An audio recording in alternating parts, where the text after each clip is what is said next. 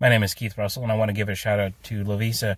Thank you so much for taking time out of your schedule to help me and work with me on a lot of areas. It's been kind of a kind of a challenge from where I was, and you really helped me to um, get where I am today with uh, all the uh, um, support, with the articles that you've shared, and with helping me work through um, a lot of things to put me in a better position.